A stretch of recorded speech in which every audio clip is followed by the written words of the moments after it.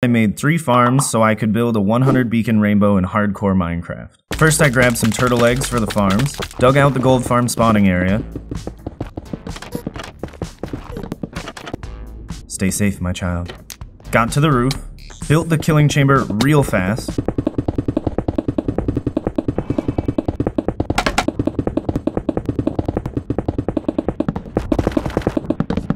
Okay, maybe it took a little bit. Ah, I'm supposed to be in the sky. Then I made the overworld portal bridge as fast as I could.